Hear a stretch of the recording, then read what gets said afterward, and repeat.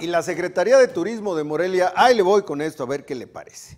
Anunció que el espectáculo del encendido de la catedral se llevará a cabo con un, como un especial, con una temática especial basada pues, en lo que ha sido un éxito este verano, que es la película de Barbie. Sí, señor. Se utilizará la versión instrumental de una canción Dance the Night que es parte del soundtrack de esta película. La temática de Barbie será usada durante el mes de agosto, en el que se tiene una importante afluencia de personas al espectáculo, jóvenes, niñas y niños morelianos que están de vacaciones de verano. También a turistas, visitantes, o sea, todo mundo podrá ver el encendido de catedral con la temática de Barbie.